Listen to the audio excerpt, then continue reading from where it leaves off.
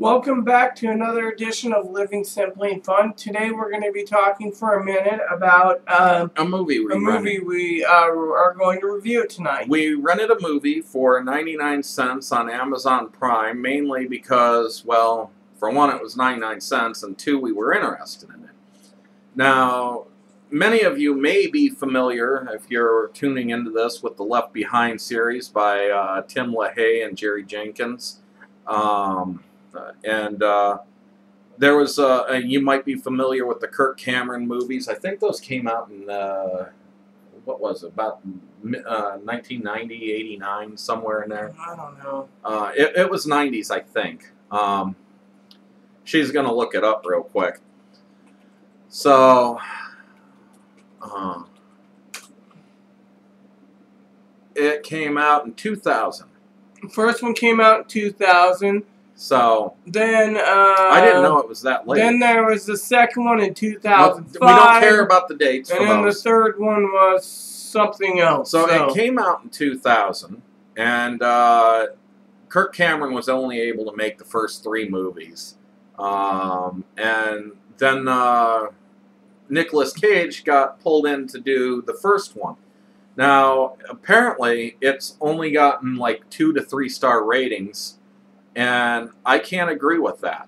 It, uh, the first movie, I think, had between three and four star ratings. Uh, and the book series has like five star ratings. And this was actually closer to the book than in Kirk Cameron's. And also, this had much more action. Jordin Sparks made the movie flow very well. Same with the guy who ends up playing uh, the reporter, uh, Buck Williams. Um, and uh, Nicolas Cage wasn't all that impressive, but you know he still did a better job in his film. So uh, the uh, cinematography was great. The action sequences were far better. It obviously had a higher budget, and yet it only made 20 million when it came worldwide. out in the box office worldwide. Uh, and there's no reason for that. This movie was a solid five stars. Uh, if you're a fan of the books or if you're a fan of the uh, first movie, um, I'm not actually a fan much of uh, uh, LaHaye Jenkins and their work. But what I do find, though, is that the movie was actually very enjoyable. Um, you got any thoughts on this before I talk the whole time? I think the Kirk Cameron movies bombed, and Lee and Jenkins, in my opinion, pulled it out. But now they're talking about having the cast return for book two through like 10, I think it is. Hold on, book two, 10 or 11. They don't want to go any higher because, uh, um, let's see, this one's, uh, uh, yeah, they don't want to do book, uh, let, uh, book 11 or 12 because that's when Jesus comes in and they don't want to go that far from my reports reading. But they want to get all the way through the uh, rapture, which in the first movie it said there's seven years of rapture. So, anyways, yeah, if you don't know the basic story of it and you're curious about that, uh, this is a spoiler alert at this point. Turn it off if you don't want to see any more of it. There's my. I'll give you our rating before we do that. So, anyways, uh, my rating, as I said, was uh, five out of five. I agree with Aaron. Five uh, out of five. Out of ten, it, would be maybe a nine point five out of ten.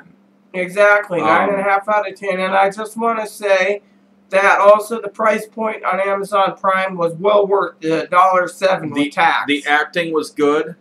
The uh, the casting was exceptional. The cinematography was good. The music was good. There was one point I actually didn't like the music, but um, I want to say Lea Thompson did good for the little role that she did completely on uh, this movie. So, anyways, now to the spoiler part. Okay, so now turn off if you don't, you want, don't want, a spoiler. Um, the basic uh, premises of the book and the movie is that uh, this girl, the daughter of N- Nicolas Cage in the movie, Chloe uh, Steele, uh, she's coming back from college. Now, In the original book, I don't believe she was coming back from college, but because she had her own vehicle there, and that was uh, in the movie. I just don't remember. in, in the movie, she didn't have her own vehicle. She came in by plane to meet her dad for her birthday.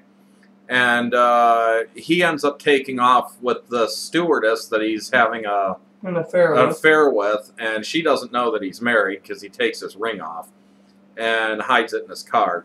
And uh, they're going to go and have a week in uh, London and watch a U2 concert. And so he takes off for his birthday with her. Uh, and the mother is really hung up on the Bible and has become a bit of a Bible thumper and has tried to force it down the throat of her family. So she's pushing her husband away with this, pushing her daughter away with this. and she's, you know, just trying to save everyone, in her opinion. Uh, in the movie, the Kirk Cameron version, let me just give you a spoiler. In the movie, the son Raymie is also a Bible thumper because Chloe says, "Well, what are you doing?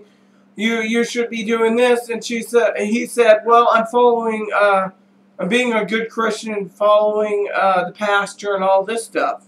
And then essentially, uh, the, while the father's in air, the rapture occurs, and people go disappearing off the plane, and then his plane has mechanical failures and stuff, and he's got to land it while they're trying to figure out what's going on and keep tempers down. And the daughter is trying to find her brother because her brother disappeared in her arms, and somehow she doesn't understand how he just vanished out of her arms, and she's left holding his clothes. So And a backpack. she- she goes looking all over the place, and every ambulance she sees, she somehow thinks her brother's in it, which I kind of thought was into odd. the. Uh, she breaks into a hospital to see if he's there, finds a person who says that all the children disappeared across the world, and uh, then she heads home and finds that her mother's disappeared in the shower. while in the shower, and Just uh, found her jewelry. Exactly, and then uh, then the father's trying to contact to see if anybody's everybody's okay or whatever. Uh, they finally get in contact, and she helps him land the plane while she's on the ground. Uh, and it's it's very action paced in this movie. It was not so much action paced in the Kirk Cameron version, um, and this one I think is far more entertaining. Exactly, and that's something that I want to say. It was a really, really good movie. You know, and me being religious, I thought, you know, 99 cents, it can't be, it could be bombed because, you know, It would be a movie that I would think about possibly adding to my collection, but only if the other ones come out and they actually wrap it up nicely at the end of them. Uh, I, I really didn't like the fact that Cameron's ended at book three, and it left everything open, and it, it was just getting into the meat of the story at that point.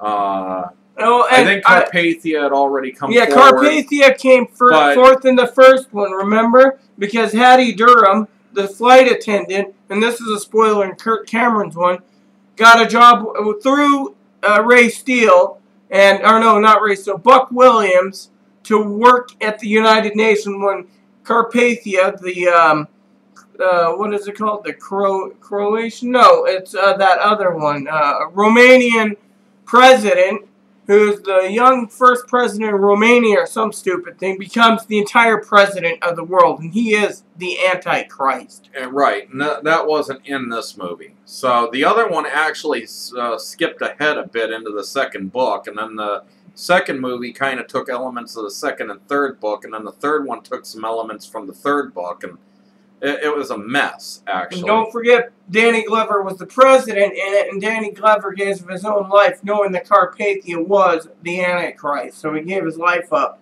And uh, I'll say this: there, there's an interesting circumstance between, uh, which wasn't in the book, I don't believe. Also, cell phones are in this. There was no cell phones in the book. Uh, in fact, I don't think the daughter even helped land the plane because there was no way for them. to No, he actually in the I don't in the book and in the first movie they tried to do it as best possible. Uh, he lands in uh, Chicago. That's where they live. They're in Chicago. Right, and we noticed a discrepancy. They didn't say it was Chicago this time, but there was New York plates everywhere, and we noticed the filming was in Louisiana. So, um, but moving on, I was trying to talk about some of the characters on the plane. They have a woman on there who's the wife of a football player. Uh, they have a, uh, a gambling midget. I'd hate to say it, but vertically challenged person who uh, is a gambler and he doesn't trust people and he's got an attitude towards them because he thinks everybody's looking at him and making fun of him all the time. So he's kind of just become a bully towards other people who want to assist Don't forget the Then vertically challenged one after a Muslim. Then there's a Muslim guy on the plane too, uh, who of course the the midget guy goes after him basically and says it's all his fault and it was a biological weapon or something and he, he's trying to get into it with him throughout much of the uh, show uh, and there's a point where the Muslim guy says maybe now we should all pray and he says to what God and the the Muslim doesn't say anything. He says basically God any God you know your God my God whatever it doesn't matter pray. And uh, so anyways uh, I thought that that was kind of unique and then uh, the wife of the football player her kids disappeared and of course she thinks that it was an elaborate setup by her husband to kidnap the Because kid he's a football player from the J- New York Jets, and the gambler found out and said, "Hmm, I'm going to make some Yeah, money." well, that's because he found out that he got injured while sitting in a hammock, and the dog knocked him out of the hammock, and he injured his shoulder, and they thought he'd be able to play, but if he injured his shoulder, he's not going to be 100%, so uh, he was going to uh, bet against that team. Um, any, anyways. And then the U.S. and the air marshal, as you know, uh, said, "Oh, you're a betting man." He says, "Yes," to the uh, midget, but the U.S. marshals, as a Christian, disappears. disappear, and the guns left.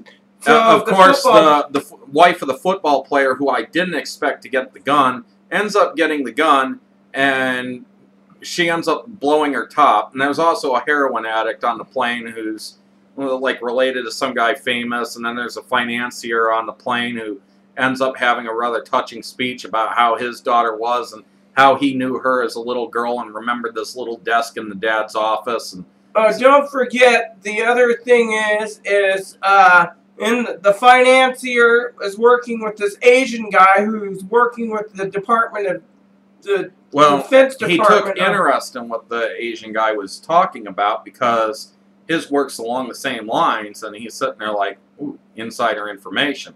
So, um, and then you know the guy with the touching story talking about the death said he was more interested in making money than thinking about religious. So so and, and of course, in the old movie, they didn't have the rules about uh, guns getting onto planes. Uh, it would have been much easier to bring one with you onto a plane back in 2000. Uh, you also would have had, uh, and when the books were written, it would have been even easier.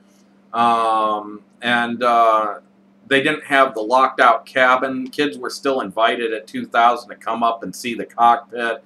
Now that doesn't happen, and they have little touchpads and electronics to get in. I did see a discrepancy though in the movie since I'm giving a spoiler, which Aaron I don't know if you picked up on it, but somehow the um, reporter became friends with the pilot and had the code to get into the door.